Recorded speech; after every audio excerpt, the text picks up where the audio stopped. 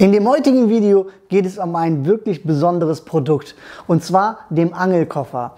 Also die Japaner, muss man wissen, sind generell dafür bekannt, die laufen alle mit so einem Angelkoffer rum und deswegen gibt es meiner Meinung nach die besten Angelkoffer eigentlich in Japan. Und dieser hier ist meiner Meinung nach sogar eines der besten erhältlichen Angelkoffer, die es gibt.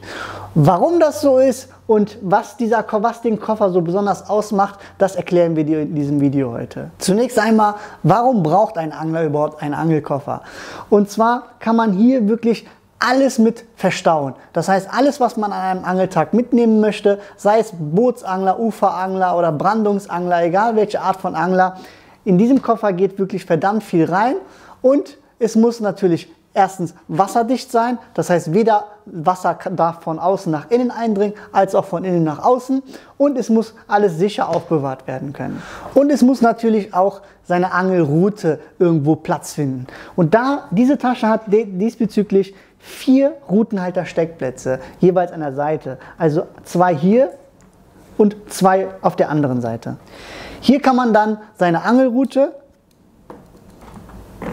reinstecken und dann so sicher transportieren. Also im Normalfall eigentlich hat jeder Angler so zwei, ein bis zwei Routen dabei, aber hier können bis zu vier Routen eingesteckt werden und dann kann der Koffer dann komplett transportiert werden. So, dann gibt es noch mal zwei so Füße, die ausklappbar sind. Das ist sehr wichtig, wenn ihr, stellt euch vor, ihr habt jetzt hier vier Routen angebracht oder aber ihr seid auf dem Boot, das Boot wackelt sehr, da kann es mal passieren, dass die, dass die, dass die Tasche jetzt beispielsweise mal hinfallen sollte. Also es wird natürlich nicht, äh, sie ist jetzt absolut nicht wackelig oder so, aber nichtsdestotrotz, wenn ihr zum Beispiel jetzt eine unebene Fläche habt, sagen wir mal jetzt so ein paar Steinpackungen äh, da, wo ihr angelt, dann könnt ihr das Ganze justieren. Das heißt, dann könnt ihr diese zwei Füße rechts und links hier ausfahren. Dann gibt es hier so eine kleine Schraube und wenn ihr an der Schraube dann dreht, dann äh, könnt ihr, dann arretriert ihr das Ganze im Grunde.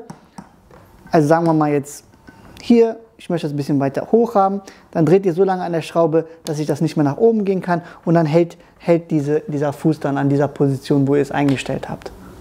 So, dann kann man das Ganze hier auch noch tragen und wenn man hier unten diesen Verriegelungsmechanismus hier runter macht, dann hat man erstmal einen besseren Tragekomfort und zweitens, das Ganze ist verschlossen. Wenn ich die Bügel dann wieder aufmache, dann kann ich das wieder auseinanderziehen und somit dann die Tasche halt innen drin öffnen. Hier ist nochmal so ein Clipverschluss und das Ganze kann ich dann hier einmal öffnen. So, hier innen drin gibt es dann nochmal so ein äh, Tragegurt und das kann ich dann, das ist dann dafür da, damit ich die Tasche dann schultern kann. Das heißt, hier gibt es dann so, so Clipverschlüsse, die klebe ich dann einmal jeweils auf die jeweilige Seite hier rein. Und dann kann ich den ganzen Angelkoffer dann äh, hier über die Schulter tragen. So, die gute Verarbeitung merkt man eigentlich im Inneren der Tasche, also aus welchen Materialien die Tasche selber gebaut wurde. Und zwar wurde hier sehr viel Wert darauf gelegt, dass das Ganze zunächst einmal sehr leicht sein soll und trotzdem wasserdicht. Die äußere Schale ist, hat eine sehr schöne Oberfläche, also die ist relativ, das ist jetzt kein Hartkunststoff, ist relativ flexibel, aber Aufgrund dieser Flexibilität, aufgrund der dünnen Wandigkeit hat man dadurch erzielt, dass man sehr, sehr viel an Gewicht eingespart hat. Innen drin ist die komplett gummiert. Das heißt, das Ganze fühlt sich relativ schön gummiartig an und ähm, ist natürlich dementsprechend dann sowohl wasserdicht von außen nach innen als auch von innen nach außen. So, jetzt kommen wir aber zu den meiner Meinung nach geilsten Teil dieser Tasche und zwar ist das die Erweiterbarkeit. Das heißt, wenn ihr mal so eine Tasche gekauft haben solltet, dann könnt ihr in Zukunft die Tasche nach euren Ansprüchen dann aufbauen. Zunächst einmal sind das die Innereien, also innen drin gibt es dann nochmal so Cubes und die sind also im Grunde wie so Raumaufteile. Auch die sind mega leicht, wasserdicht innen drin und hier oben ist so eine Klarsichtfolie, dass man direkt dann sehen kann, was in der Cube selber drin ist. Die gibt es dann in verschiedenen Größen. Von dieser hier würde jetzt beispielsweise zwei Stück übereinander reinpassen. Dann gibt es diese kleinere hier. Davon passen dann insgesamt vier Stück übereinander rein.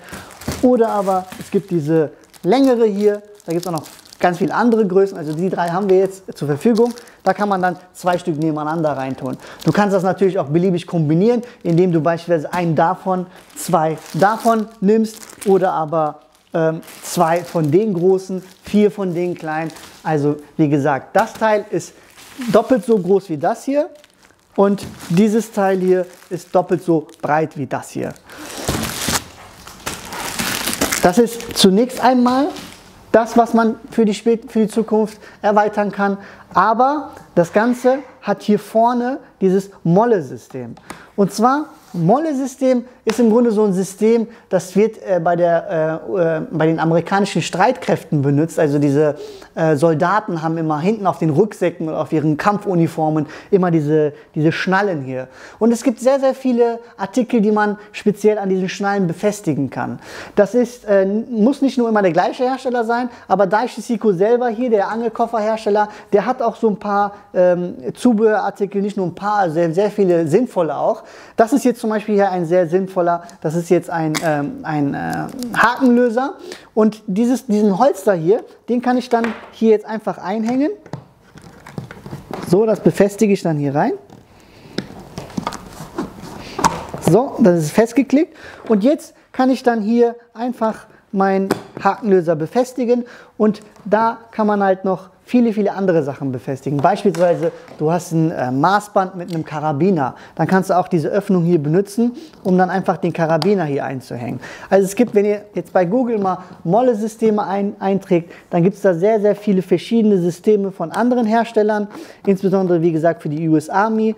Oder aber es gibt halt von dem Daichiko selber, das ist jetzt zum Beispiel so ein Multiclipper, da kann man dann ja, da kann man zum Beispiel die Wirbel dran machen, wenn man die festknotet oder aber so Handtücher dran befestigen, wie ihr selber gerne wollt.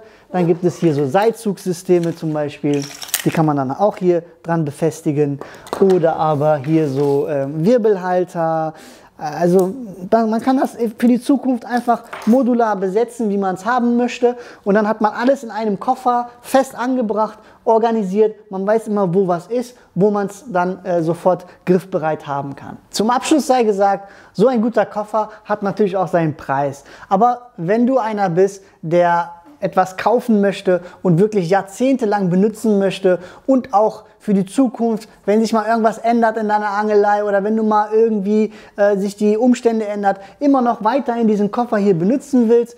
Das ist wirklich ein Koffer, der hält Ewigkeiten, der hält Generationen hinweg, den kannst du theoretisch weitererben. Also wenn du so einer bist, der jetzt nicht immer diese Wegwerf, äh, gegen diese Wegwerfpolitik ist, dann ist dieser Koffer wirklich etwas, was, die, was für die Ewigkeit hält.